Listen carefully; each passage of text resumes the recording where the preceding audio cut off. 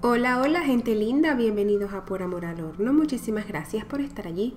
Yo soy Rebeca y hoy les comparto la receta de unas ricas galletas en espiral de vainilla y chocolate. Muy ricas, económicas y fáciles de hacer. Comenzamos colocando en un recipiente grande 250 gramos o una taza de mantequilla sin sal a temperatura ambiente y 125 gramos o 2 tercios de taza de azúcar blanco. También pueden usar mantequilla con sal si así lo prefieren pero que sea mantequilla y no margarina. Ahora vamos a cremar estos ingredientes durante 5 minutos hasta que estén bien esponjositos y hayan aclarado un poco su color. Una vez que así sea, con una lengua repostera o espátula, recorremos el recipiente para asegurarnos de que todo está bien incorporado. Empezamos a batir nuevamente y le agregamos una cucharadita de vainilla y un cuarto de cucharadita de sal si están utilizando mantequilla sin sal. Luego con la batidora en baja velocidad le agregamos 350 gramos o 2 tazas y media de harina de trigo, todo uso, sin preparar, sin ningún tipo de leudante. Vamos agregando poco a poco hasta que se haya integrado completamente y una vez así sea, otra vez con la espátula recorremos los laterales del bol para unificar toda la masa y en un momento determinado vamos a comenzar con nuestras manos Tratemos de no amasar mucho, sino más bien de unir y de hacer que la masa sea homogénea.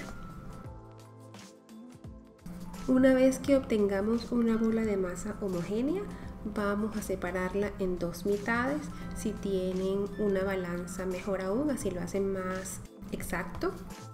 Pero si no, de la manera más exacta posible, dividimos en dos partes y a una de las mitades le vamos a agregar 25 gramos o un cuarto de taza de cacao en polvo sin azúcar. Batimos para incorporar el cacao en la masa y de nuevo vamos con las manos a integrar hasta obtener una masa homogénea. Luego nos lavamos las manos antes de tocar la otra masa y aquí les muestro las dos mitades. Si quieren pueden envolverlas así en papel film y llevarlas al refrigerador, pero yo prefiero estirarlas de una vez. Comienzo con la masa de vainilla y las estiro de 3 milímetros de grosor aproximadamente. En este caso a mí me salió una masa de 22 centímetros por 26 centímetros, ya que intentamos que tenga forma rectangular para cuando vayamos luego a hacer el cilindro. Y la estiramos sobre papel film para que luego podamos en ese mismo papel envolverla y llevarla sobre una bandeja al refrigerador. La coloco esta en la bandeja y ahora voy a estirar la masa de chocolate de igual manera unos 2 o 3 milímetros de grosor, 22 por 26 centímetros para estas cantidades de ingredientes. Yo coloqué las dos masas envueltas una sobre la otra en la bandeja como habían visto previamente y ahora vamos a llevar a refrigerar durante 2 horas. Pasado el tiempo de reposo ya la mantequilla en nuestra masa ha endurecido nuevamente dándonos una textura más maleable en las masas colocamos una de ellas sobre la superficie de trabajo, abrimos el papel film y colocamos la otra por encima.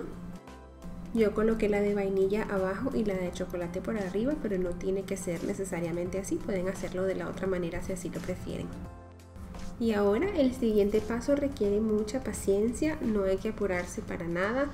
La textura de la masa es durita y hay que esperar que vaya poniéndose maleable poco a poco pero que no se caliente demasiado. Entonces con ayuda de las manos y del el papel film vamos a irla enrollando tratando de hacer un cilindro lo más apretado posible. Mientras más apretado esté el cilindro, mayores vueltas de masa y más bonitos se verán los espirales de las galletas. Si observan que sus masas están muy frías, pueden esperar uno o dos minutos antes de continuar enrollando de igual manera, si notan a través del papel que se está quebrando la masa que esté debajo, con las manos a través del papel, con el calor de las manos van acomodando la masa. Esta masa es bastante maleable. Y así van trabajando poco a poco hasta lograr enrollar toda la masa. En este punto tenemos que refrigerar de nuevo para que la mantequilla vuelva a endurecerse y para que se relaje el gluten de la harina. Refrigeramos mínimo una hora o simplemente pueden tener la masa en la nevera el tiempo que deseen hasta que puedan hacer las galletas.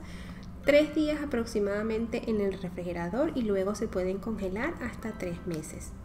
Cuando estemos listos para hacer las galletas, precalentamos el horno a 180 grados centígrados, sacamos nuestro cilindro de masa de la nevera y vamos a cortar galletas de 5 milímetros de grosor y las vamos colocando en una bandeja con papel film o bien la pueden enmantequillar y enharinar la bandeja.